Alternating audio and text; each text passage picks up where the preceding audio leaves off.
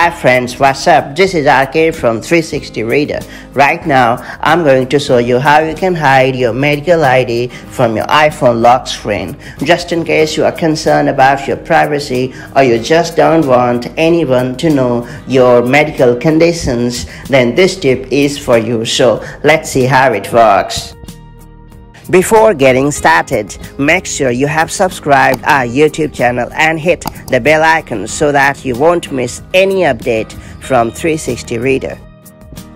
To begin with steps, launch Settings app on your iPhone, then you have to scroll down and find Health, right? And then you have to select it.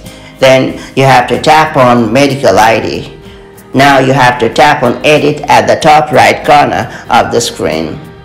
And now you have to scroll down and then all you have to do is simply turn off the switch right next to show when locked.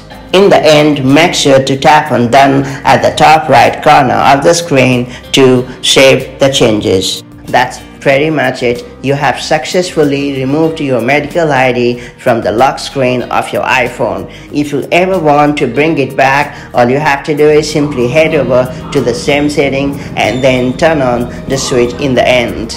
If you have found this guide helpful, then do like it and share it. And I'll see you in the next video. Till then, have a wonderful time. Bye-bye.